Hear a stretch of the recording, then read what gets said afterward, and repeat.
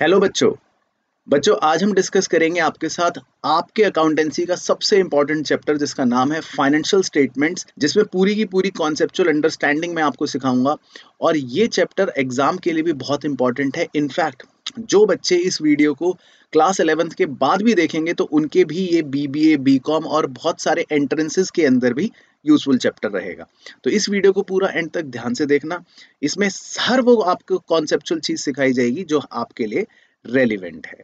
तो हमारी कहानी शुरू होती है अकाउंटिंग साइकिल से या अकाउंटिंग प्रोसेस से, ठीक है? वहाँ से शुरू करते हैं जब हमने सबसे पहले पढ़ना शुरू करा था। तो कहानी ये थी कि हम सबसे पहले रिकॉर्डिंग करते हैं, यानी जर्नल करते हैं, फिर लेजर करते हैं ट्रायल बैलेंस बनाते हैं।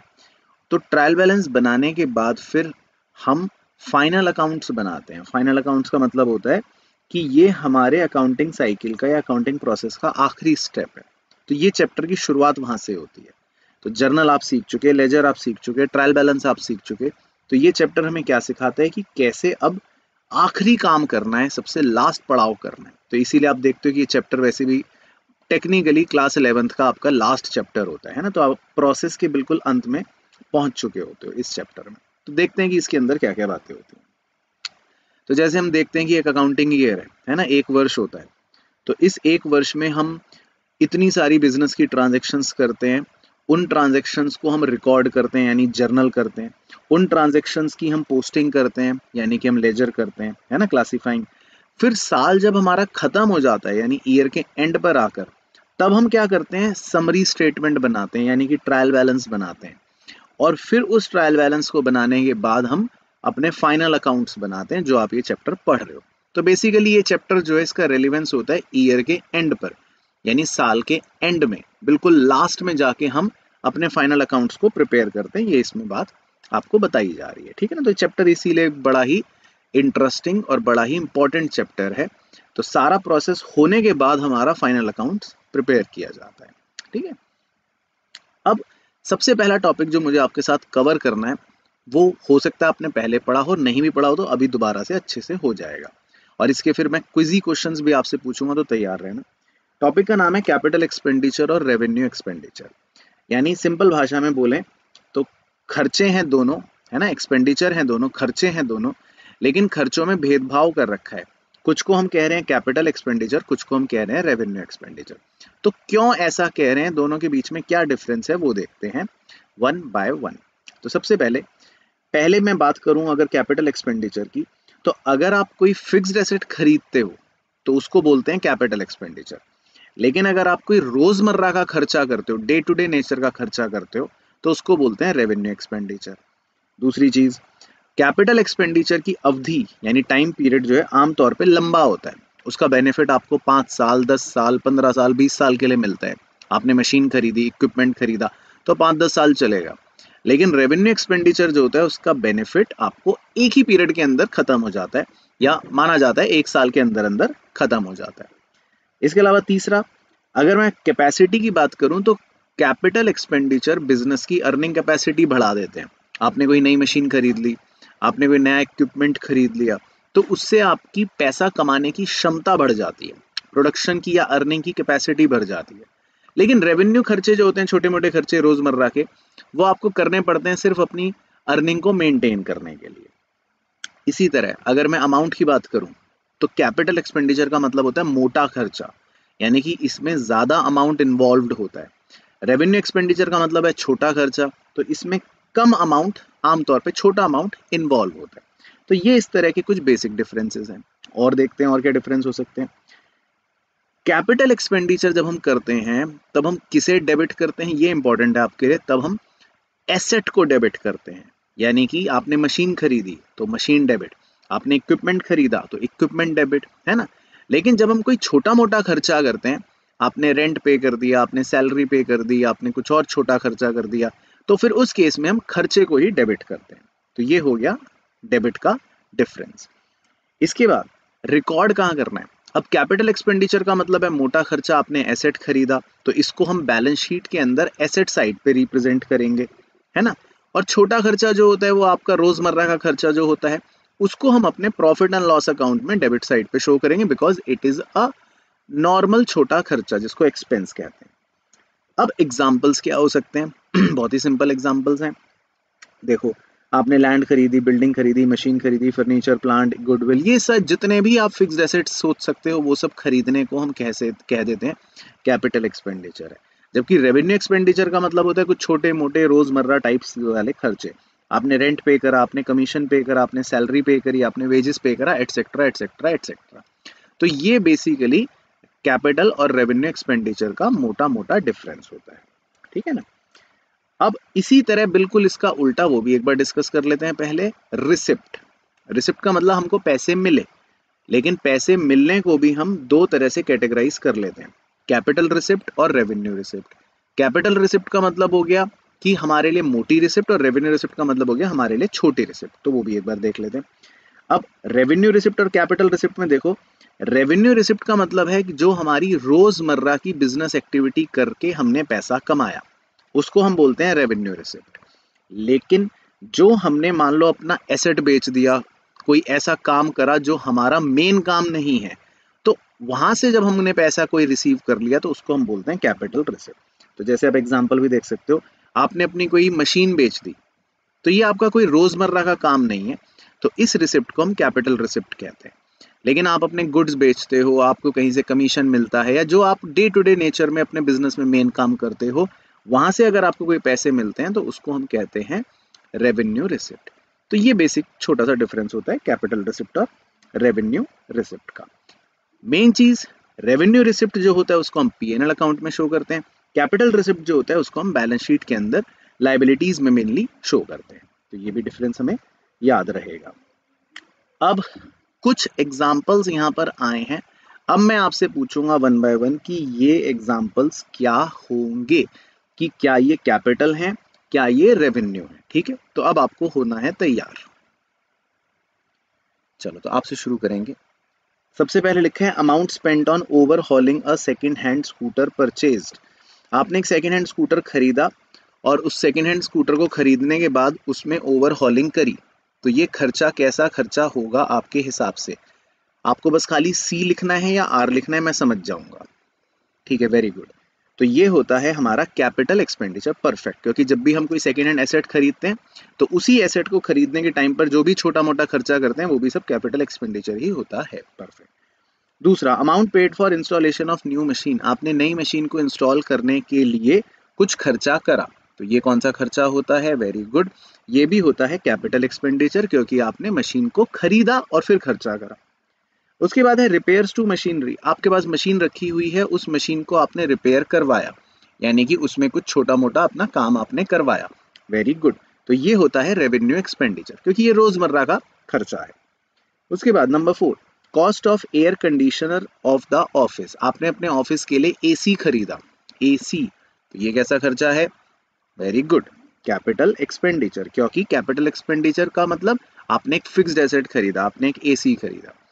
नेक्स्ट है annual insurance charges of car आप अपनी गाड़ी के एनुअल इंश्योरेंस करवाते हो, यानी कि हर साल प्रीमियम देते हो इंश्योरेंस कंपनी को ताकि आपका गाड़ी जो है इंश्योर्ड रहे। वेरी गुड तो इसको बोलते हैं रेवेन्यू एक्सपेंडिचर क्योंकि ये हर साल का खर्चा है, हर साल आपको अपना एनुअल इंश्योरेंस पे करना है। इसके बाद custom duty paid on import of machinery आपने बाहर से मशीन इम्पोर्ट करवाई और उसको इम्पोर्ट करवाने पर आपने टैक्स दिया। तो ये कौन सा खर्चा है? वेरी गुड कैपिटल एक्सपेंडिचर क्योंकि मशीन को आप इम्पोर्ट करने के लिए खर्चा टैक्स का पे कर रहे हो। तो परफेक्ट आंसर्स आपने दिए, बहुत बढ़िया।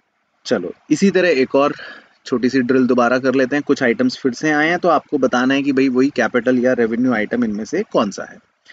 तो आइटम है G wages paid for installing a new machinery आपने एक नई मशीनरी खरीदी और उसको इंस्टॉल करने के लिए वेजेस पे करे। वेरी गुड तो सेम लॉजिक है तो ये हो गया कैपिटल एक्सपेंडिचर बहुत सही। उसके बाद है amount paid for electricity bill आपने बिजली का बिल पे करा तो बिजली का बिल पे करना किस तरह का खर्चा हो गया, किस तरह का नेचर का हो गया वेरी गुड रेवेन्यू नेचर का, क्योंकि ये रोज़मर्रा का खर्चा है। Amount paid for painting the machinery आपने अपनी मशीनरी को पेंट करवा दिया, पुताई करवा दी तो ये किस तरह का खर्चा है? वेरी गुड रेवेन्यू एक्सपेंडिचर क्योंकि इससे कोई कैपेसिटी तो बढ़ नहीं रही, आपने नॉर्मल पेंटिंग करवा दी। रेंट रिसीव्ड आपको रेंट मिला। तो ये किस तरह का आपका नेचर का रिसिप्ट है? Rent receipt very good revenue receipt क्योंकि ये हमारे लिए एक नॉर्मल बिज़नेस इनकम हो गई। इसके बाद इंटरेस्ट रिसीव्ड आपको ब्याज मिला, यानी कि इंटरेस्ट आपको रिसीव हुआ। तो ये किस नेचर का है? वेरी गुड रेवेन्यू रिसिप्ट यानी कि रेवेन्यू नेचर का है। और कमीशन पेड आपने कमीशन दिया, आपने किसी को पैसे दिए कमीशन के तो ये किस नेचर का है? वेरी गुड रेवेन्यू एक्सपेंडिचर यानी कि रेवेन्यू नेचर का है। परफेक्ट तो बिल्कुल सही आंसर्स दिए। तो इसका मतलब अब आप कैपिटल और रेवेन्यू के डिफरेंसेस को समझना सीख चुके हो। परफेक्ट हो गई बात। अब आते हैं जी सबसे मुद्दे की बात पर कि रेवेन्यू नेचर के जितने भी आइटम्स होते हैं, उनको हम ट्रेडिंग या प्रॉफिट एंड लॉस अकाउंट में ट्रांसफ़र करते हैं। लेकिन जो कैपिटल नेचर के आइटम्स होते हैं, उनको हम बैलेंस शीट में ट्रांसफ़र करते हैं ना? जैसे आप देखते ही हो कि भाई, आपने कोई एसेट खरीदा तो बैलेंस शीट में जाएगा। लेकिन अगर आप कोई छोटा मोटा खर्चा करते हो रेवेन्यू खर्चा करते हो तो ट्रेडिंग या पीएनएल अकाउंट में वो जाएगा। तो इस बात का बस आपको मेनली ध्यान रखना है। तो सभी कैपिटल आइटम्स बैलेंस शीट में और सभी रेवेन्यू आइटम्स ट्रेडिंग पीएनएल में। ठीक है सर उसके बाद जी ट्रायल बैलेंस आपको पता ही है कि ट्रायल बैलेंस के अंदर हमें सारे डेबिट क्रेडिट बैलेंसेस दे रखे होते हैं। अब इंपॉर्टेंट चीज़ आपके लिए ये है कि ट्रायल बैलेंस के अंदर जो भी आइटम दिया होता है, वो हमेशा एक ही जगह पोस्ट होता है। और डेबिट का आइटम डेबिट में पोस्ट होता है, क्रेडिट का आइटम क्रेडिट में पोस्ट होता है। तो एक बार इस स्लाइड को थोड़ा ध्यान से देखना। छोटा सा एक डेमो ले रहे हैं। डेबिट का मतलब आप समझ लो सफ़ेद रंग का घर, क्रेडिट का मतलब आप समझ लो पीले रंग का घर। तो बहुत सारे आइटम्स होंगे, कुछ डेबिट में, कुछ क्रेडिट में। तो डेबिट के जितने भी आइटम्स होंगे, वो कहीं ना कहीं, यानी सफ़ेद रंग के जितने भी आइटम्स होंगे, वो कहीं ना कहीं सफ़ेद रंग के घर में जाएँगे। यानी कि या तो वो ट्रेडिंग और पीएनएल अकाउंट के डेबिट में जाएँगे, या वो बैलेंस शीट के एसेट साइड पे जाएँगे, क्योंकि वो भी डेबिट ही होती है ना। तो डेबिट का सारा आइटम कहाँ पोस्ट होगा? डेबिट में। इसी प्रकार पीले रंग वाले आइटम, यानी क्रेडिट वाले सारे के सारे आइटम्स, वो कहाँ पोस्ट होंगे? क्रेडिट में, यानी वो पीले घर में जाएँगे। पीला घर कौन सा? या तो ट्रेडिंग और पीएनएल अकाउंट का क्रेडिट साइड या फिर लाइबिलिटी साइड तो सिंपल सी आपको वो ऊपर वाली अंग्रेज़ी याद रखनी है कि ट्रायल बैलेंस का हर आइटम एक ही जगह पोस्ट होगा। डेबिट का डेबिट में क्रेडिट का क्रेडिट में डेबिट मतलब पीला वाला घर सफ़ेद वाला घर और क्रेडिट मतलब पीला वाला घर। तो सफ़ेद जाएगा सफ़ेद में, पीला जाएगा पीले में। सिंपल तो देखो, यही बात आपको बता रहा है और अगले चैप्टर की बेस नीचे लिखी हुई है। ट्रायल बैलेंस के बाहर जितनी भी एडजस्टमेंट एंट्रियाँ होती हैं, वो दो जगह पोस्ट की जाती हैं। वो आपको अगले चैप्टर में वैसे सिखाएँगे तो इसलिए उस पर चर्चा नहीं करेंगे। सर, कितने प्रकार के अकाउंट्स होते हैं तो आप जानते हो जी, तीन प्रकार के अकाउंट्स होते हैं, नॉमिनल, रियल और पर्सनल। तो आप उसको ऐसे भी सोच सकते हो कि जो नॉमिनल नेचर के अकाउंट्स होते हैं, वो ट्रेडिंग और पीएनएल अकाउंट के अंदर लाई कर रहे होते हैं और रियल और पर्सनल अकाउंट जो होते हैं, वो आमतौर पर बैलेंस शीट के अंदर लाई कर रहे होते हैं। तो ये भी एक नज़रिया है जो आपको पता होना चाहिए। अब सर, सवाल आता है कि ट्रेडिंग और प्रॉफिट एंड लॉस अकाउंट का नेचर क्या है?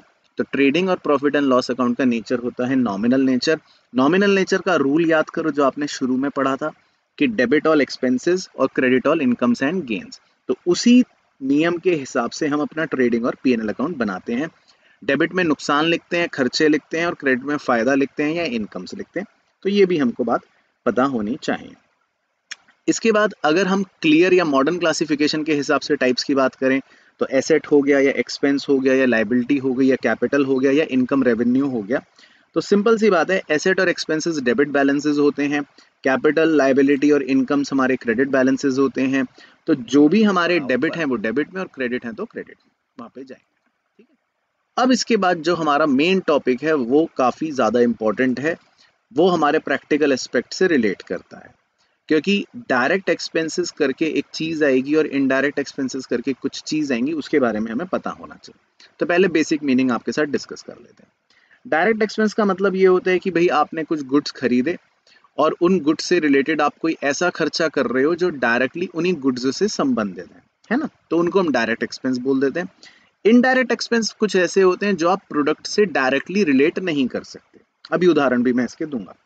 कुछ एग्जाम्पल्स हैं डायरेक्ट एक्सपेंसेस के, जैसे वेजेस या carriage inward carriage inward का मतलब होता है सामान जो है जो फैक्ट्री के अंदर आता है तो हम कुछ पैसे देते हैं।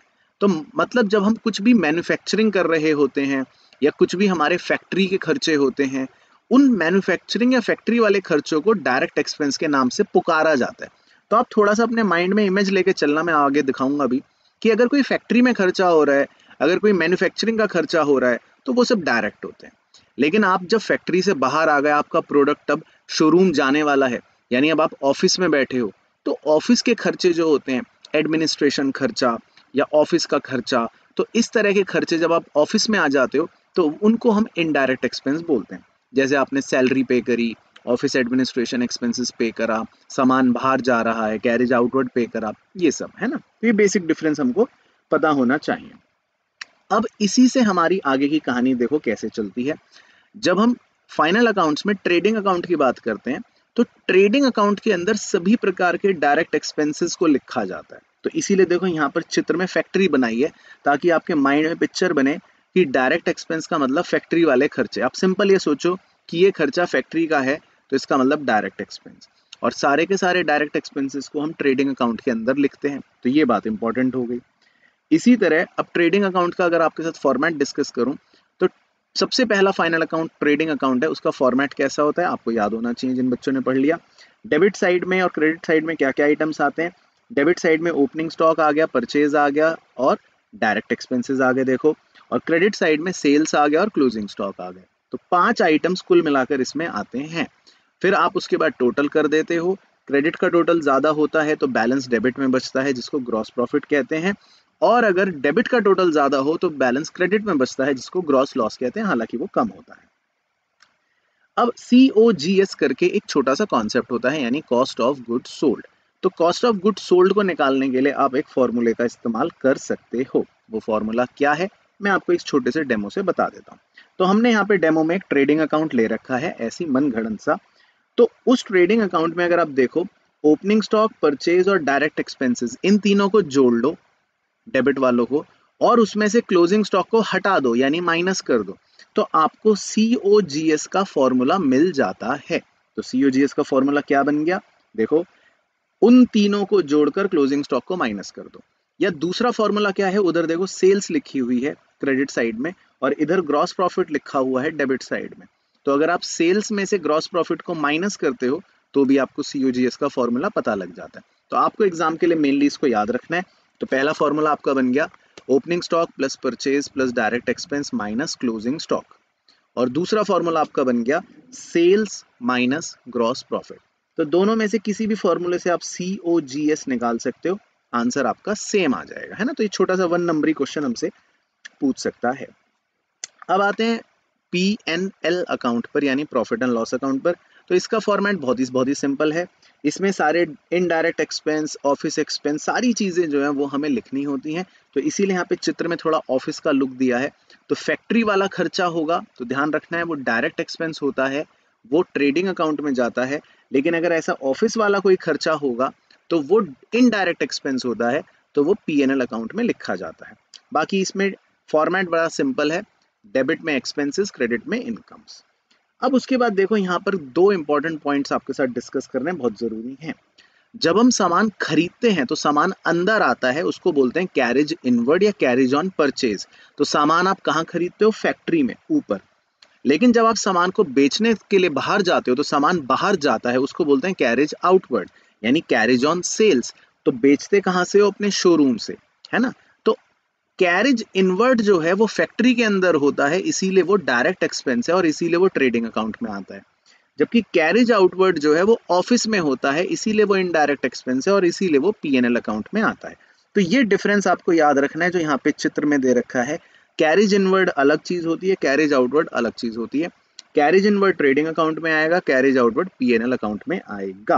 ठीक है सर ओके उसके बाद जी रिमेंबर चार टर्म्स हैं जिसमें बच्चे कंफ्यूज होते हैं तो आप इनके अपने हाथों पर टैटू वैटू करवा लेना ताकि कभी भूलो नहीं।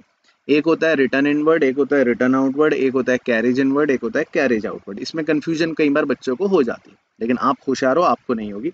वन बाय वन सबके मीनिंग बता देते हैं। रिटर्न इनवर्ड का मतलब होता है sales return simple return outward का मतलब होता है purchase return simple carriage inward का मतलब होता है सामान अंदर आ रहा है, यानी carriage on purchase carriage outward का मतलब होता है सामान बाहर जा रहा है, यानी कैरेज ऑन सेल्स ये तो हो गए मतलब। इनके ट्रीटमेंट सिंपल है, बहुत ही सिंपल है। सेल्स रिटर्न को सेल्स में से माइनस करते हैं। परचेज रिटर्न को परचेज में से माइनस करते हैं। कैरेज ऑन परचेज को ट्रेडिंग अकाउंट में लिखते हैं क्योंकि वो डायरेक्ट है। और कैरेज ऑन सेल्स को पीएनएल अकाउंट में लिखते हैं क्योंकि वो इनडायरेक्ट है। तो ये जो पन्ना यहाँ पे आपको दिखाई दे रहा है, ये आपके लिए इंपॉर्टेंट हो गया। अब जो पॉइंट है, वो और ज़्यादा इंपॉर्टेंट पॉइंट है, उसमें वेजेस और सैलरीज को लेकर कई बार एग्ज़ाम में जो कन्फ्यूज़न होता है, उस पर हम चर्चा करते हैं। तो उसके लिए आपको क्या करना है? क्वेश्चन आपको किसी भी फॉर्म में दे सकता है। क्या पता खाली वेजेस लिख के दे दे, क्या पता वेजेस एंड सैलरी लिख के दे दे, क्या पता खाली सैलरी लिख के दे दे और क्या पता सैलरीज एंड वेजेस लिख के दे दे। आपको सिर्फ़ पहला टर्म पढ़ना है, पहला अक्षर पढ़ना है। अगर वो आपको वेजेस नज़र आ रहा है तो समझ जाओ फैक्ट्री तो दिमाग में फैक्ट्री बना लो। और अगर वो सैलरी नज़र आ रहा है, पहला अक्षर, बस पहला पढ़ना है, दूसरा नहीं, पहला पढ़ना है। पहला अक्षर आपने पढ़ा सैलरी तो दिमाग में ऑफ़िस बना लो तो क्या सोचा? पहला अक्षर वेजेस तो दिमाग में बन गई फैक्ट्री पहला अक्षर ऑफ़िस सैलरी तो दिमाग में बन गया ऑफ़िस अब क्या सिखाया था? फैक्ट्री का मतलब डायरेक्ट है तो कहाँ जाएगा? ट्रेडिंग अकाउंट में। और ऑफ़िस का मतलब क्या है? इनडायरेक्ट है तो कहाँ जाएगा? पीएनएल अकाउंट में। सिंपल सबसे सिंपल कंफ्यूजन को दूर करने का तरीका। तो पहला वेजेस होगा तो फैक्ट्री बना लो दिमाग में सैलरी होगा तो ऑफ़िस बना लो दिमाग में। ठीक है? सिंपल होगी कहानी। उसके बाद जी नेट परचेज क्या होता है? कई बच्चों को इसमें भी डाउट होता है तो नेट परचेज का मतलब होता है ग्रॉस या टोटल परचेज में से परचेज रिटर्न को माइनस कर दिया। इसी प्रकार नेट सेल्स क्या होती है? तो नेट सेल्स का मतलब होता है ग्रॉस सेल्स या टोटल सेल्स में से सेल्स रिटर्न को माइनस कर दिया। तो ये सिंपल से फॉर्मूले हैं। अब एक स्पेशल फॉर्मूला है एडजस्टेड परचेज का। कि एडजस्टेड परचेज क्या होती है? इसको अच्छे से लर्न करके जाना। एग्ज़ाम में वन नंबर का क्वेश्चन पूछ सकते हैं। तो एडजस्टेड परचेज होती है opening stock plus purchases minus closing stock तो ये एक छोटे से फॉर्मूले हैं, जो मैं मानता हूँ आपको आते होंगे। अब आता है जी, इसके बाद अगला टॉपिक हमारा ऑपरेटिंग प्रॉफिट ऑपरेटिंग प्रॉफिट भी एक टर्मिनोलॉजी है, जिसका एक छोटा सा फॉर्मूला आपको पता होना चाहिए। हालाँकि इसका कुछ बेसिक कॉन्सेप्ट भी मैं कवर कर दूँगा। ऑपरेटिंग प्रॉफिट का मतलब है कि भाई आपके नॉर्मल ऑपरेटिंग गतिविधियों से आप क्या मुनाफा कमा रहे हो, है ना? इसमें कोई नॉन ऑपरेटिंग गतिविधि नहीं आती। तो अपने माइंड में क्लियर करके चलना कि भाई मान लो अगर मैं हूँ, मैंने कोई लॉटरी इनकम जीत ली, या मैंने कोई लॉटरी की टिकट खरीदने का खर्चा करा, ये मेरे लिए कोई मेरा मेन बिज़नेस ऑपरेशन नहीं है। तो मैं ऐसी गतिविधियों को नॉन ऑपरेटिंग एक्टिविटी कहता हूँ। लेकिन ऑपरेटिंग एक्टिविटी मेरे लिए क्या है? कि मैंने बच्चों को ट्यूशन पढ़ाया, मैंने बच्चों के लिए ट्यूशन क्लासेस अरेंज करी, मुझे ट्यूशन की फ़ीस रिसीव हुई। ये सब मेरा मेन बिज़नेस इनकम जो है, ये मेरे लिए ऑपरेटिंग एक्टिविटी है। इसी तरह मान लो कोई फर्नीचर डीलर है, उसके शोरूम में उसने फर्नीचर बेचा, उसने लकड़ियाँ खरीदी, उसने फर्नी टेबल चेयर्स बना बना के बेचा, वो उसका मेन काम है ऑपरेटिंग एक्टिविटी है। लेकिन अगर मान लो फर्नीचर डीलर ने किसी दिन गया और उसने कुछ और मशीन बेच दी अपनी ऐसी इत्तेफाक से, या उसने कोई लॉटरी की टिकट खरीद ली और उसको लॉटरी लग गई, इनकम हो गया या कहीं से उसको मकान बेच के पैसे मिल गए, ये उसका मेन काम नहीं है। तो इन सब गतिविधियों को नॉन ऑपरेटिंग कहते हैं। तो ऑपरेटिंग प्रॉफिट का मतलब है आपने ऑपरेटिंग गतिविधि से क्या कमाया? ये सिंपल सा कॉन्सेप्ट दिमाग में रखना। अब इसका फॉर्मूला सर एक फॉर्मूला है gross profit minus operating expenses ठीक है सर सर अगर ये याद ना रहे तो तो आप दूसरा भी याद रख सकते हो। ग्रॉस प्रॉफिट का अपना फॉर्मूला होता है सेल्स माइनस सीओजीएस तो वो उसको रिप्लेस कर देगा ग्रॉस प्रॉफिट को माइनस ऑपरेटिंग एक्सपेंसेस तो एक फॉर्मूला ये इस फॉर्म में भी बन सकता है, लेकिन एग्ज़ाम के लिए याद रखना है। अब सीओजीएस और ऑपरेटिंग एक्सपेंसेस को अगर मैं कंबाइन कर देता हूँ तो इन दोनों को इकट्ठा करके ऑपरेटिंग कॉस्ट कहते हैं। तो एक फॉर्मूला ये भी बन गया सेल्स माइनस ऑपरेटिंग कॉस्ट तो सर, आपको तीनों फॉर्मूले अच्छे से याद करने हैं। वन नंबर में वो आपसे तीनों में से कोई भी पूछ सकता है, वो फिगर्स देगा और आपको कहेगा कैलकुलेट कर दो। ठीक है ना? तो ये डायरेक्ट फॉर्मूले आपको याद रखने। अब ऑपरेटिंग प्रॉफिट को यहाँ पर दिखा देता हूँ। एक छोटा छोटा सा डेमो लिया है। तो एक ट्रेडिंग अकाउंट है, एक पीएनएल अकाउंट है। तो आपको ये तो पता ही है कि भाई, हम ट्रेडिंग अकाउंट में opening stock purchase, direct expense लिखते हैं, क्लोजिंग स्टॉक क्रेडिट साइड में लिखते हैं, और उसके बाद हमारा एक ग्रॉस प्रॉफिट आ जाता है।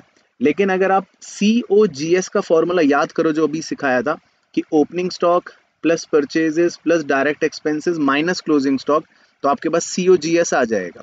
उसके बाद सी ओ जी एस में अगर आप ये ऑपरेटिंग एक्सपेंसेस को जोड़ दोगे तो आपको ऑपरेटिंग कॉस्ट मिल जाएगी, जो इसका फॉर्मूला होता है।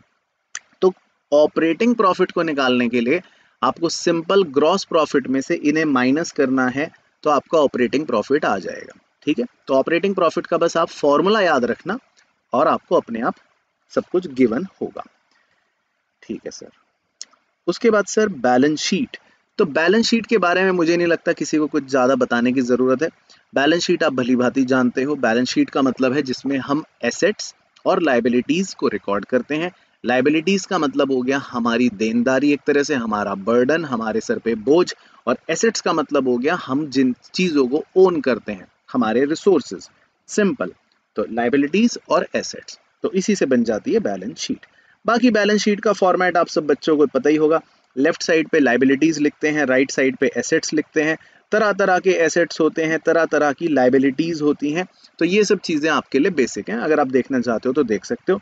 करंट एसेट्स होते हैं फिक्स्ड एसेट्स होते हैं टेंजिबल इनटेंजिबल इसी तरह लाइबिलिटी में करंट लाइबिलिटी होती है नॉन करंट लाइबिलिटी होती है कैपिटल होता है। तो ये कुल मिलाकर आपकी बन जाती है बैलेंस शीट लेकिन ज़्यादा इंपॉर्टेंट चीज़ क्या है कि भाई आप फाइनल अकाउंट्स को प्रिपेयर करने के लिए क्या प्रोसीजर फॉलो करते हो? तो बहुत ही सिंपल प्रोसीजर है कि सबसे पहले ट्रेडिंग अकाउंट फिर पीएनएल अकाउंट और फिर बैलेंस शीट बनती है। तो ये फ्लो होता है। तो ऐसा नहीं है कि बैलेंस शीट पहले बन गई या बैलेंस शीट ऊपर बन गई। ट्रेडिंग अकाउंट बनेगा प्रॉफिट एंड लॉस अकाउंट बनेगा और फिर बैलेंस शीट बनेगी। तो ट्रेडिंग अकाउंट जब आप बनाना शुरू करते हो तो देखो सबसे पहले आपको ग्रॉस प्रॉफिट का पता चलता है। वो ग्रॉस प्रॉफिट आपके पीएनएल अकाउंट में ट्रांसफ़र किया जाता है। उसके बाद आप पीएनएल अकाउंट में इनडायरेक्ट एक्सपेंसेस लिख देते हो तो उससे आपको नेट प्रॉफिट पता लग जाता है।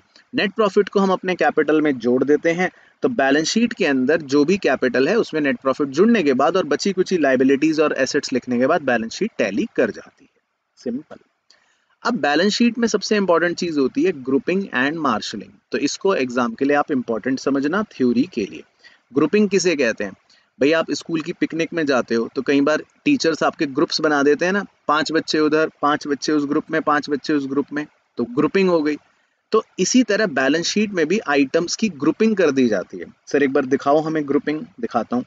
तो आप ये बैलेंस शीट देखो जरा। अब इस बैलेंस शीट में मैंने ग्रुप्स बना दिए। एसेट साइड में देखो, एक ग्रुप का नाम है करंट एसेट्स। तो इसमें साहब सारी करंट एसेट्स इकट्ठे होंगे, डेटर्स, बिल्स, रिसीवेबल मतलब इन सब का नेचर एक जैसा है। तो इनको मैंने करंट एसेट्स में डाल दिया। इसी तरह करंट लाइबिलिटी ये ग्रुप बना दिया। तो सारी करंट लाइबिलिटियाँ इस हेडिंग के अंदर आ गई। इसी तरह non current asset non current लाइबिलिटियाँ तो ये ग्रुपिंग हो गई। ग्रुपिंग का मतलब एक मेन हेडिंग है और उसके अंदर बहुत सारे छोटे छोटे आइटम्स हैं। तो that is known as grouping ठीक है सर सर मार्शलिंग क्या होती है? तो मार्शलिंग भाई साहब बहुत ही कमाल की चीज़ होती है। मार्शलिंग का मतलब होता है कि हम बैलेंस शीट के एसेट्स के आइटम्स को मेनली किसी पर्टिकुलर ऑर्डर में सेट करते हैं। ऐसा नहीं कि जहाँ पे जो मन करा लिख दिया, कुछ भी लिख दिया, एक पर्टिकुलर ऑर्डर में सेट करते हैं। अब वो ऑर्डर या तो लिक्विडिटी के हिसाब से हो सकता है या परमानेंस के हिसाब से हो सकता है। लिक्विडिटी का मतलब होता है कि कौन सी चीज़ कितनी जल्दी कैश में कन्वर्ट हो जाएगी, उसे लिक्विड बोलते हैं। ठीक है, मैं आपसे एक सवाल पूछता हूँ। आपके बैंक में पैसे हैं, दूसरा, आपकी फैक्ट्री में मशीन है। बताओ दोनों में से ज़्यादा लिक्विड क्या है? हाँ वेरी गुड तो इसका मतलब सब बच्चे मेरे साथ हैं। ओके ठीक है, सब सही। बिल्कुल सही। तो इसका मतलब सब बच्चे मेरे साथ हैं, समझ रहे हैं? तो बैंक में जो पैसे हैं, वो ज़्यादा लिक्विड है। तो बस इसको लिक्विडिटी बोलते हैं। और परमानेंस का मतलब होता है इसका उल्टा। अगर मैं यही पूछता कि बैंक में आपके पास पैसे हैं और आपकी फैक्ट्री में मशीन है तो ज़्यादा परमानेंट क्या? तो आप कहते मशीनरी तो लिक्विडिटी का मतलब जो जल्दी से कैश में कन्वर्ट हो जाए और परमानेंस मतलब उसका उल्टा। तो हमारे पास दो तरीके होते हैं बैलेंस शीट को दिखाने के। या तो हम लिक्विडिटी के ऑर्डर में दिखा सकते हैं तो उसमें सबसे ऊपर सबसे ज़्यादा लिक्विड वाला एसेट दिखाएँगे और सबसे नीचे परमानेंट वाला।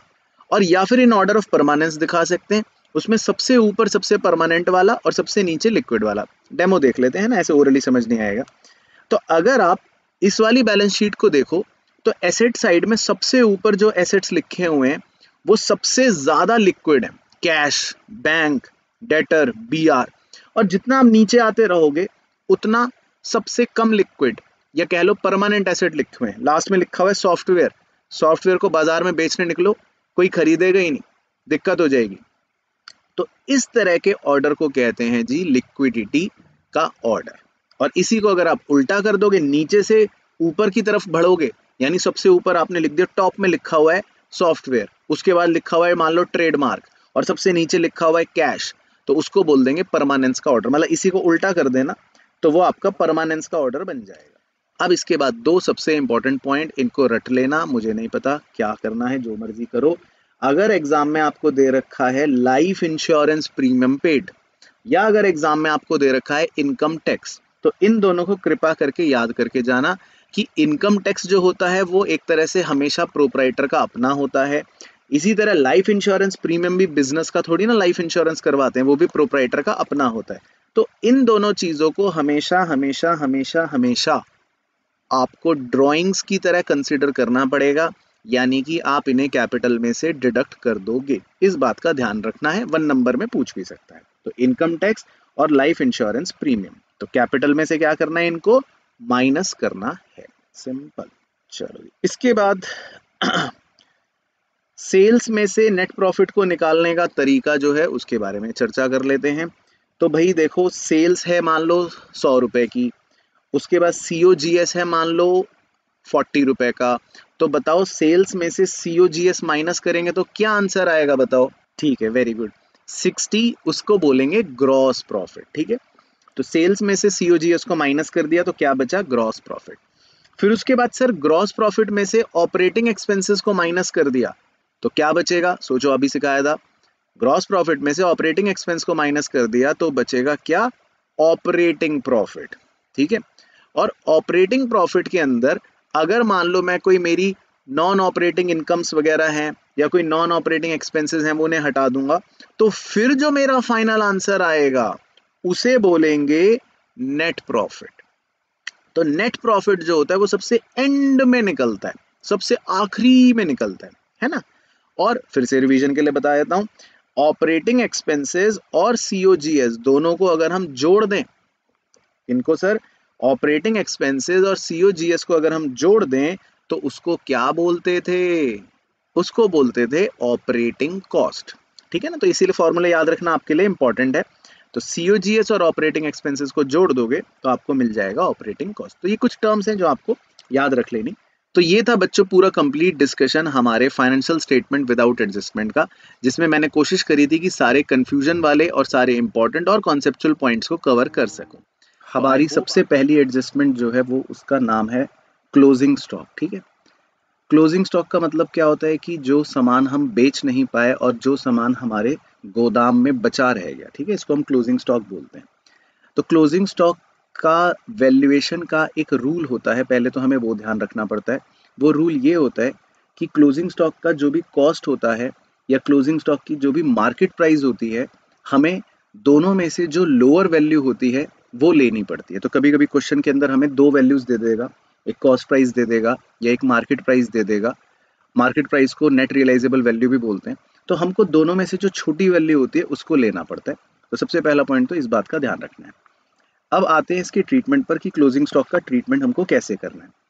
तो अगर हमें क्लोजिंग स्टॉक एडजस्टमेंट में दे रखा है एडजस्टमेंट का मतलब होता है ट्रायल बैलेंस के बाहर दे रखा है तो उस केस में हमको अलग तरह से ट्रीटमेंट करना पड़ेगा और अगर हमको क्लोजिंग स्टॉक ट्रायल बैलेंस के अंदर दे रखा है तो उस केस में फिर हमको अलग तरह से ट्रीटमेंट करना पड़ेगा। तो हमको दोनों केसेस आने चाहिए। तो अगर हमें क्लोजिंग स्टॉक ट्रायल बैलेंस के बाहर यानी कि एडजस्टमेंट में दे रखा है तो आप इसको ट्रेडिंग अकाउंट में क्रेडिट साइड पर लिखोगे और दूसरा इसको आप बैलेंस शीट के एसेट साइड पे लिखोगे। तो दो जगह ये रिकॉर्ड हो जाएगा। लेकिन अगर क्लोजिंग स्टॉक ट्रायल बैलेंस के अंदर अपीयर होगा तो फिर आपको ट्रेडिंग अकाउंट में नहीं लिखना, फिर आपको उसको सिर्फ़ और सिर्फ़ बैलेंस शीट के एसेट साइड पर ही लिखना पड़ेगा। तो इस तरह से हम क्लोजिंग स्टॉक एडजस्टमेंट को डील कर लेंगे। तो चाहे वो ट्रायल बैलेंस के बाहर दे रखी हो तो दो जगह लिखना है और अगर वो ट्रायल बैलेंस के अंदर दे रखी हो तो खाली एक ही जगह एसेट साइड पे लिखना है। ठीक है ना? अब एक छोटा सा कॉन्सेप्ट डिस्कस करता हूँ ताकि आगे की एडजस्टमेंट्स की आपकी भूमिका और स्ट्रांग हो जाए। एक्रूअल कॉन्सेप्ट क्या होता है, जो हमने पहले चैप्टर में भी पढ़ रखा था। एक्रूअल कॉन्सेप्ट का मतलब ये होता है कि अगर हम अपने एक अकाउंटिंग ईयर की बात कर रहे हैं तो हमें ये देखना है कि उस अकाउंटिंग ईयर का खर्चा क्या है या उस अकाउंटिंग ईयर की इनकम क्या है। इरिस्पेक्टिव कि हमने पैसे दिए हैं या पैसे हमें मिले हैं तो हमको पैसा कैश में नहीं देखना। हमको ये देखना है कि क्या वो हमारी इनकम है या क्या वो हमारा एक्सपेंस है। उसको हम एक्रूअल कॉन्सेप्ट बोलते हैं ना? तो अब देखो, जैसे मान लो हमने कोई एक्सपेंस पे करा, पूरे साल दस महीने तक पे करा, और दो महीने का पे नहीं करा तो हम उस दो महीने को बोल देते हैं आउटस्टैंडिंग एक्सपेंस इसी प्रकार कई बार हम एक्सपेंस पे कर देते हैं चौदह महीने का, पंद्रह महीने का। मतलब कि हमने इस साल के बारह महीने का तो पे करा ही करा और अगले साल के भी दो तीन महीने का एक्स्ट्रा पे कर दिया।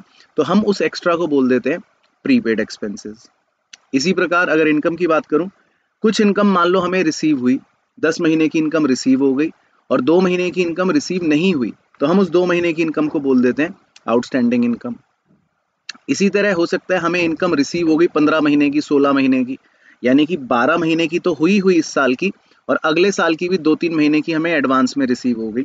तो हम उसको बोल सकते हैं प्री रिसीव्ड इनकम या इनकम रिसीव्ड इन एडवांस तो हमारा क्योंकि एक्रूअल कॉन्सेप्ट होता है, वो फोकस करता है कि हमारे करंट ईयर की इनकम या करंट ईयर का एक्सपेंस क्या है है ना? तो हमारी एडजस्टमेंट उसी के हिसाब से चलती है। तो हमको सिर्फ़ ये लेना है कि हमारे करंट ईयर का एक्सपेंस या करंट ईयर की इनकम क्या है। जो आगे के साल के एक्सपेंस या आगे के साल की इनकम है, उससे मुझे मतलब नहीं है है ना?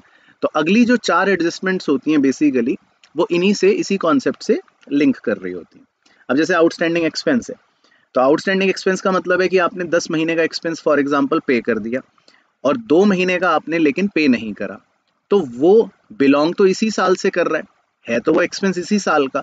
तो इसीलिए हम उसको अपना खर्चा मानते हैं। हम कहते हैं यस ये हमारा इस साल का खर्चा है। तो इस एडजस्टमेंट को कैसे डील करना है हमको? हमारा जो भी एक्सपेंस दे रखा होगा हम उस एक्सपेंस में उसको जोड़ देंगे आउटस्टैंडिंग एक्सपेंस को, और इसको बैलेंस शीट के अंदर हम लाइबिलिटी साइड में शो कर देंगे because it is outstanding expense तो ये हमारे लिए एक लाइबिलिटी होती है करंट लाइबिलिटी होती है। ठीक है ना? अच्छा इसको हम एक्सपेंस ड्यू के नाम से भी जानते हैं। अब अगर मान लो आउटस्टैंडिंग एक्सपेंस हमें ट्रायल बैलेंस के अंदर दे रखे हैं, यानी कि ऑलरेडी वो एडजस्टेड है तो उस केस में सिर्फ़ हमको बैलेंस शीट में ही उसको लिखना पड़ेगा, यानी वो फिर एक ही जगह लिखे जाएँगे। फिर उसको हम अपने एक्सपेंस के अंदर रिस्पेक्टिव एक्सपेंस के अंदर ऐड नहीं करेंगे। तो उस केस में वो सिर्फ़ खाली बैलेंस शीट में ही ट्रांसफ़र किया जाएगा, अगर वो हमें ट्रायल बैलेंस के अंदर दे रखा है। अब जो दूसरी मेन एडजस्टमेंट है प्रीपेड एक्सपेंस की, इसका मतलब क्या है कि आपने इस साल कोई एक्सपेंस पे करा और आपने उसमें दो तीन महीने अगले साल के भी पे कर दिए। तो यानी आपने आज कोई एक्सपेंस पे कर दिया बारह से ज़्यादा, यानी चौदह, पंद्रह या सोलह महीनों के लिए। तो क्या जो आपने एक्स्ट्रा अगले साल के लिए एक्सपेंस पे करा क्या वो हमारे इस साल से बिलोंग करता है? अगर हम ये क्वेश्चन पूछें तो। तो उसका आंसर आएगा नहीं।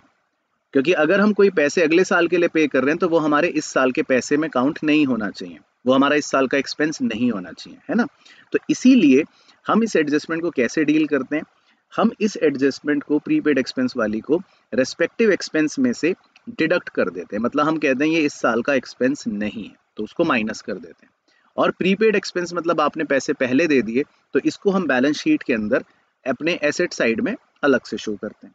तो ये तो हो गई एडजस्टमेंट अब अगर प्रीपेड एक्सपेंस हमको ट्रायल बैलेंस के अंदर ही दे रखा है है ना?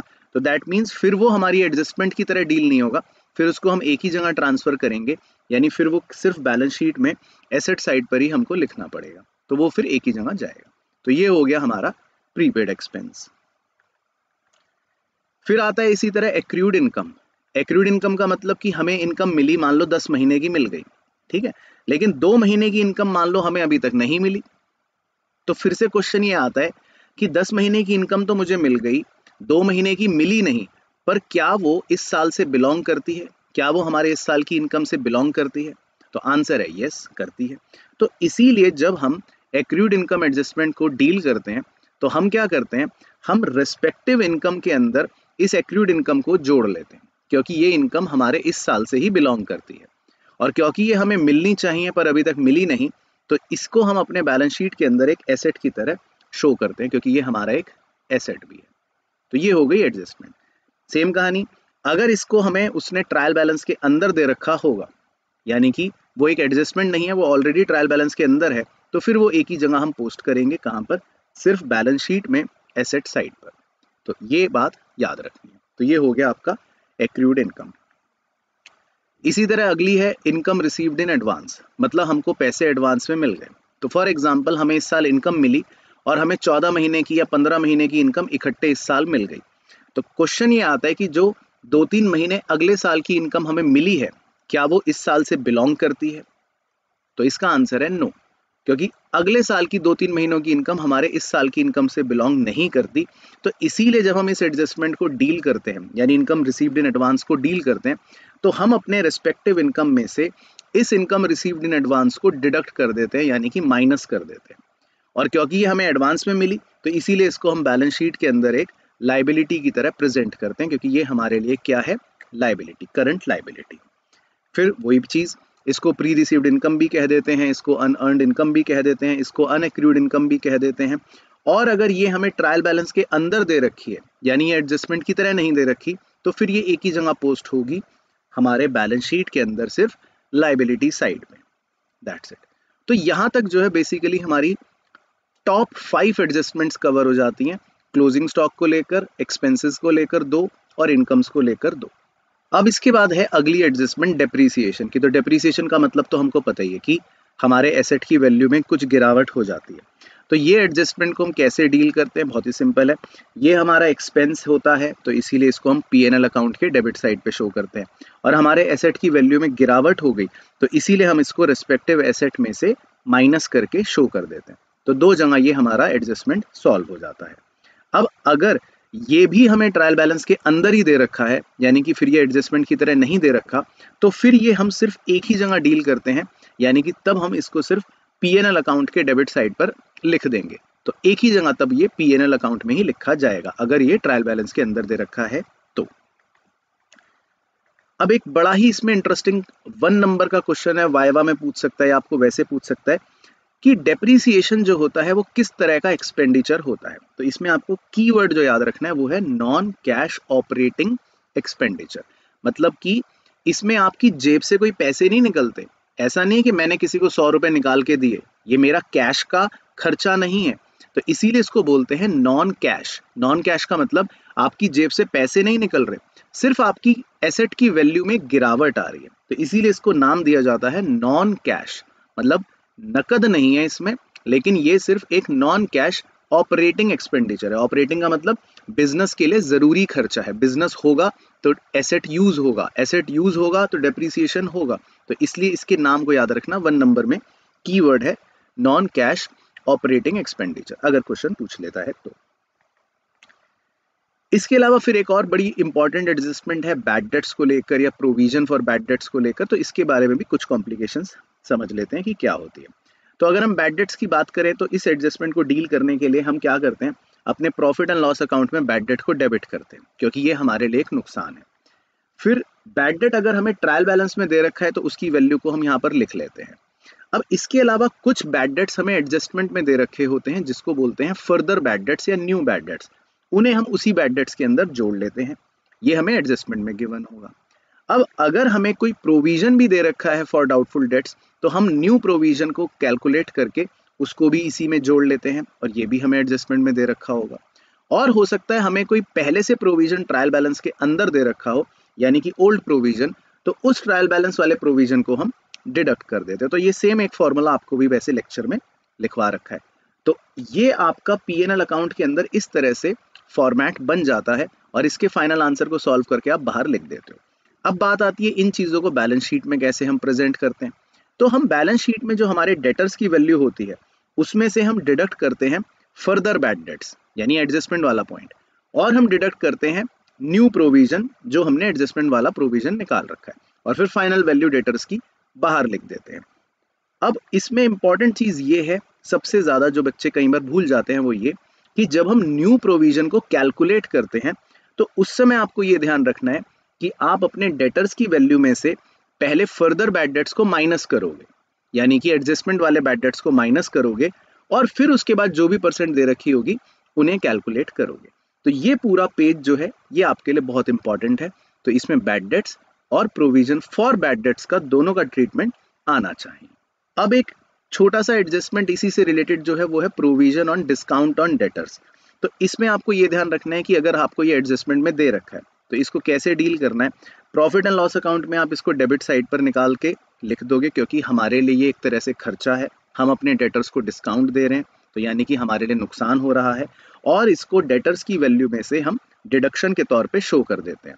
तो इसमें बस एक चीज़ इंपॉर्टेंट क्या ध्यान रखनी है, कि जब आप प्रोविज़न फॉर डिस्काउंट की वैल्यू को कैलकुलेट करते हो तो बड़े ध्यान से देखना, आपको डेटर्स में से पहले फर्दर बैड डेट्स भी माइनस करने पड़ेंगे और उसमें से नया प्रोविज़न फॉर डाउटफुल डेट भी माइनस करना पड़ेगा। जो बचेगी वैल्यू उसी का फिर आप provision for discount percentage calculate करोगे। तो ये चीज़ इसमें छोटी सी इंपॉर्टेंट है इसकी कैलकुलेशन बाकी ट्रीटमेंट सिंपल है पीएनएल अकाउंट में डेबिट साइड पर और डेटर्स की वैल्यू में से माइनस कर देंगे।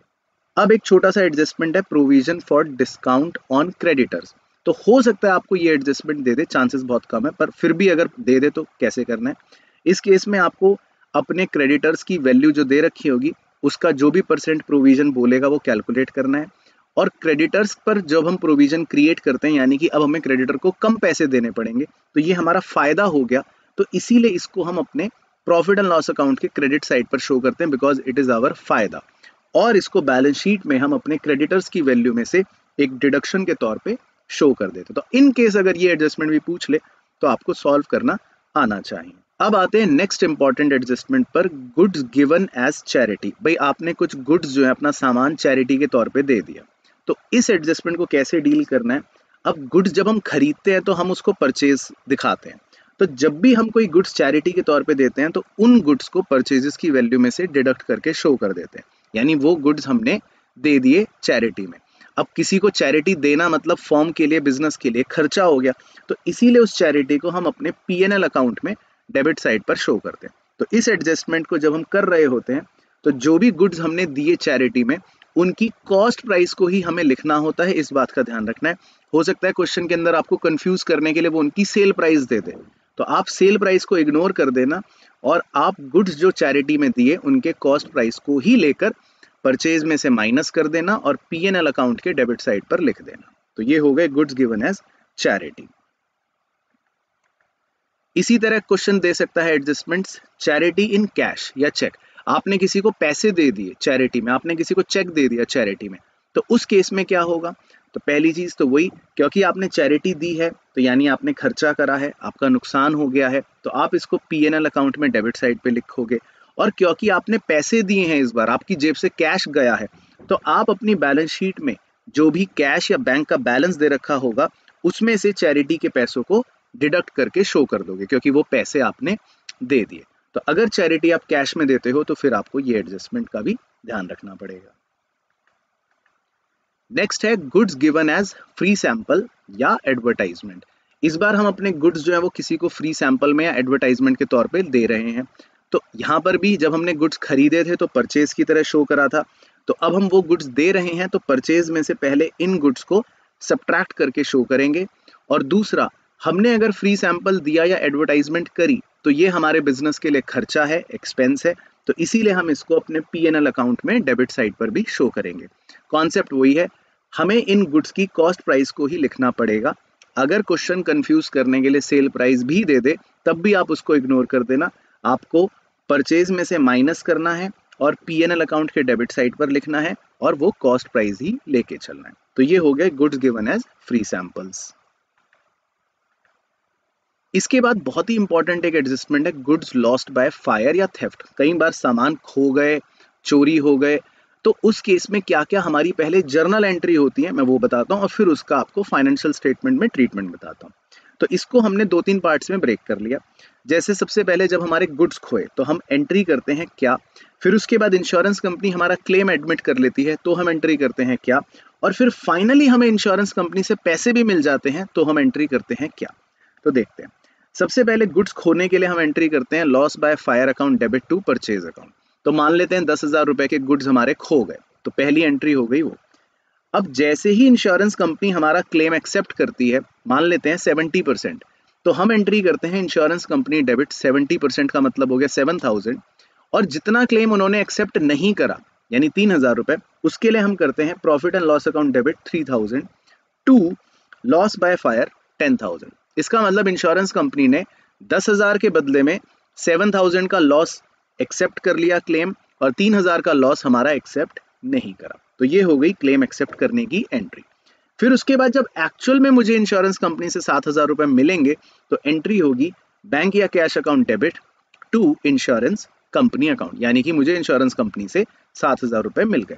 तो ये तो हो गया जर्नल एंट्री वाला कॉन्सेप्ट अब अगर आप इन तीनों जर्नल एंट्रियों को मिला दो, ये सोचो ये तीनों एंट्रिया में जोड़कर एक बना दूँ तो इसमें loss by fire loss by fire cut जाएगा दस दस हज़ार डेबिट क्रेडिट इसमें insurance company insurance company cut जाएगा सात सात हज़ार डेबिट क्रेडिट तो आपकी बचेगी क्या सिर्फ़ एंट्री कैश और बैंक अकाउंट डेबिट सात हज़ार पीएनएल अकाउंट डेबिट तीन हज़ार और परचेज क्रेडिट दस हज़ार।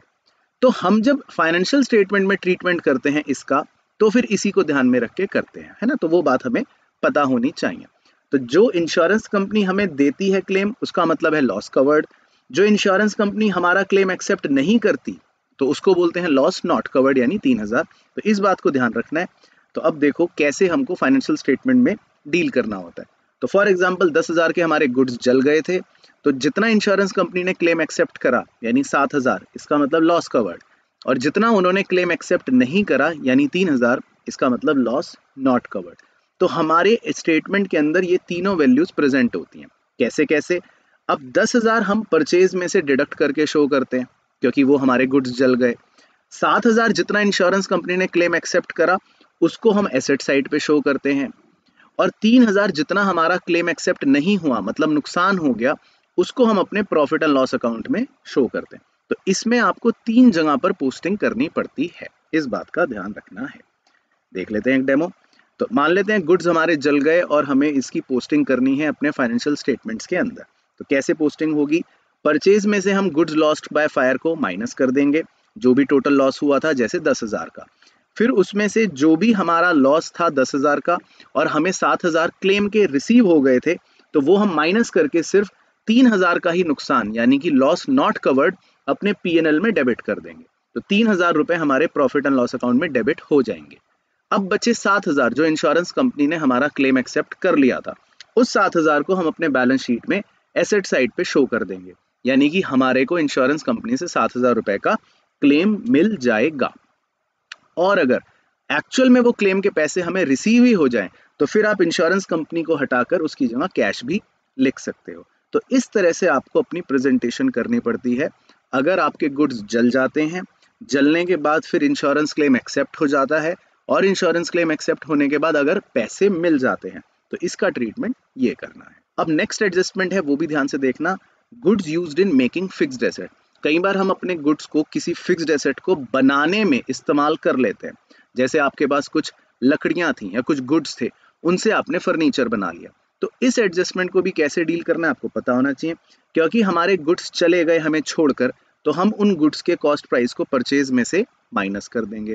और क्योंकि हमने उनसे फिक्स्ड एसेट बना लिया तो हम अपनी बैलेंस शीट के एसेट साइड पर उस फिक्स्ड एसेट की वैल्यू में उतने अमाउंट से वैल्यू को ऐड कर देंगे, जितने अमाउंट का हमने फिक्स एसेट और बना लिया। तो बेसिकली आपकी परचेज कम हो जाएगी और आपके फिक्स एसेट की वैल्यू बढ़ जाएगी। तो ये आप goods used in making fix asset के टाइम पे कर दोगे। इसी तरह एक और एडजस्टमेंट है गुड्स विड्रॉन बाय प्रोपराइटर अब प्रोपराइटर अपने घर के लिए सामान लेके चला गया। तो बहुत ही सिंपल पॉइंट है। अगर प्रोपराइटर अपने घर के लिए सामान लेकर चला गया तो इसका मतलब हमारा सामान हमें छोड़कर चला गया।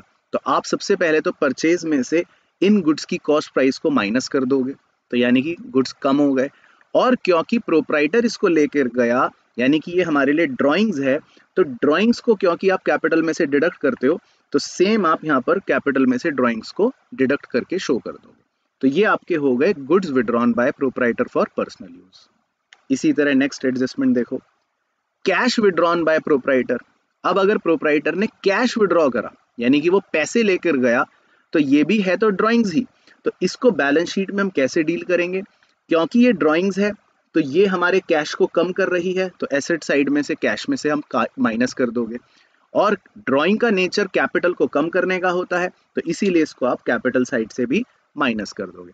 तो बेसिकली कैश अगर हम विड्रॉ करते हैं फॉर पर्सनल यूज़ तो आपका कैश भी कम हो जाएगा और आपकी कैपिटल भी कम हो जाएगी। तो ये हो गया कैश विड्रॉन बाय प्रोपराइटर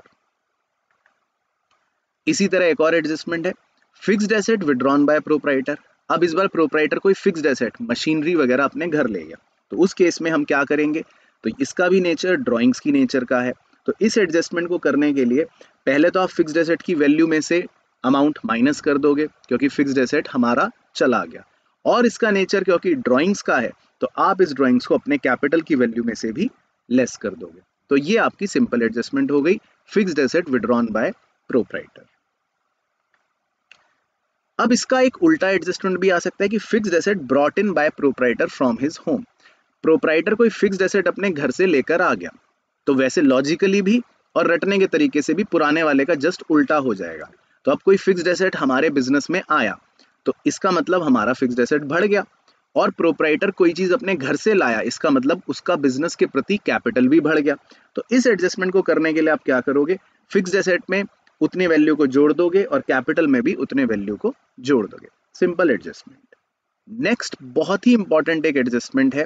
इसका नाम है गुड सेंट ऑन अप्रूवल या सेल और रिटर्न बेसिस इसमें कई बार क्या होता है इसका पहले कहानी बता देता हूँ। हम कुछ गुड्स अपने कस्टमर को भेजते हैं और उसको कहते हैं कि तुम 10, 15, 20 दिन इसको अपने पास रखो इसको इस्तेमाल करो। अगर तुम्हें पसंद आए तो फिर अप्रूव कर देना अगर पसंद ना आए तो वापस भेज देना। अब कभी कभी क्या होता है कि हम गुड्स भेज तो देते हैं कस्टमर को, लेकिन ना उसने अप्रूव करा, ना उसने वापस करा, बस उसके घर पे पड़े हैं। अब हम इंतज़ार कर रहे हैं कि ये फ़ोन करेगा कि भाई तुझे पसंद भी आए हैं कि नहीं, लेकिन उसने कुछ नहीं बताया। तो इस एडजस्टमेंट को कैसे डील करते हैं? बहुत ही ध्यान से सुनना थोड़ी सी कॉम्प्लिकेटेड है, पर ध्यान से सुनोगे तो समझ आएगी। हमारे को सेल्स की वैल्यू में से जितने अमाउंट के गुड्स हमने अप्रूवल वाले सेल की तरह भेजे हैं, उसे डिडक्ट करके दिखाना पड़ता है, यानी उसकी सेल प्राइस को हटाना पड़ता है। हम कहते हैं वो हमारी सेल नहीं है, क्योंकि अभी तक गुड्स अप्रूव नहीं हुए। तो अगर गुड्स अप्रूव नहीं हुए और वो अभी तक सेल नहीं है तो इसका मतलब माना यह जाता है कि वो गुड्स अभी भी हमारे अनसोल्ड है। और अनसोल्ड गुड्स को हम अपना क्लोजिंग स्टॉक मानते हैं। तो इसीलिए जो गुड्स अभी तक अप्रूव नहीं हुए, हम उन्हें सेल में से माइनस करते हैं और हम उन गुड्स को अपना क्लोजिंग स्टॉक मानते हैं। तो क्लोजिंग स्टॉक आप जानते हो ऑलरेडी कि कहाँ कहाँ रिकॉर्ड करा जाता है। तो क्लोजिंग स्टॉक रिकॉर्ड करा जाता है ट्रेडिंग अकाउंट में और एसेट साइड में। तो इस पूरी कॉम्प्लिकेटेड एडजस्टमेंट को करने के लिए देखना ध्यान से स्क्रीन पर। पहले हम अपने सेल प्राइस को यानी सेल को मानते हैं कि नहीं हुई। तो सेल में से सेल वैल्यू कम कर देते हैं और साइमल्टेनियसली डेटर में से भी सेल वैल्यू कम कर देते हैं। तो हम मानते हैं हमारी सेल नहीं हुई। तो ये तो हो गया वो पार्ट और जो गुड्स हमारे अभी तक सेल नहीं हुए, यानी अनसोल्ड है, उनको हम अपना क्लोजिंग स्टॉक मानते हैं। तो इसीलिए उन गुड्स को हम अपने क्लोजिंग स्टॉक में जोड़ देते हैं और साथ ही साथ एसेट साइड पर भी इसीलिए बैलेंस शीट में भी क्लोजिंग स्टॉक को जोड़ देते हैं। तो इस एडजस्टमेंट में बेसिकली आपको चार ट्रीटमेंट्स करने हैं। मैं रिपीट कर रहा हूँ, ध्यान से सुनना। क्या क्या सेल प्राइस को सेल्स में से माइनस करना है और डेटर्स में से माइनस करना है। और उन गुड्स की कॉस्ट प्राइस को क्लोजिंग स्टॉक में ऐड करना है ट्रेडिंग अकाउंट में। और एसेट साइड में भी क्लोजिंग स्टॉक में ऐड करना है। तो ये पूरा ट्रीटमेंट होता है good sent on approval basis का। अब इसके बाद एक और इंपॉर्टेंट एडजस्टमेंट है मैनेजर कमीशन मैनेजर कमीशन का मतलब ये होता है कि हम अपने बिज़नेस में सेल्स करते हैं सेल्स के बाद हमें मुनाफा होता है। तो हम अपने मैनेजर को ये कहते हैं कि देखो, अगर हमें जितना ज़्यादा नेट प्रॉफिट होगा तो उस नेट प्रॉफिट का हम तुम्हें कुछ कमीशन देंगे, पाँच परसेंट दस परसेंट और अगर प्रॉफिट नहीं हुआ लॉस हो गया तो हम तुम्हें कोई कमीशन नहीं देंगे। सीधी बात है, सीधा लॉजिक है। तो कई बार मैनेजर को हम कमीशन भी देने की बात करते हैं। अब इसमें क्वेश्चन की लैंग्वेज के हिसाब से दो केसेस बन जाते हैं। कई बार लिखा होता है कि manager commission before charging such commission कई बार लिखा होगा manager commission after charging such commission तो पहले तो ट्रीटमेंट समझते हैं। हम मैनेजर को कमीशन देते हैं तो ये हमारे लिए एक नुकसान है, हमारे लिए एक्सपेंस है। तो इसीलिए इसको पीएनएल अकाउंट में डेबिट करते हैं। दूसरा माना यह जाता है कि अभी तक हमने उसको पे नहीं करा, यानी कि ये अभी तक आउटस्टैंडिंग है तो इसीलिए इसको बैलेंस शीट के अंदर हम लाइबिलिटी साइड पर भी शो करते हैं। तो ये तो हो गया इसका ट्रीटमेंट लेकिन क्वेश्चन की लैंग्वेज के हिसाब से कि बिफोर चार्जिंग सच कमीशन है या आफ्टर चार्जिंग सच कमीशन है तो आपकी कैलकुलेशन का तरीका बदल जाता है, यानी कि आपकी वैल्यू का आंसर चेंज हो जाएगा। वो कैसे? अगर लिखा है normally before charging such commission तो आप अपने नेट प्रॉफिट को मल्टीप्लाई करोगे रेट अपॉन हंड्रेड से। और अगर लिखा है आफ्टर चार्जिंग सच कमीशन तो आप अपने नेट प्रॉफिट को मल्टीप्लाई करोगे rate upon hundred plus rate से। तो ये भी हमने वैसे सवालों में कर रखा है, पर इस चीज़ को याद रखना।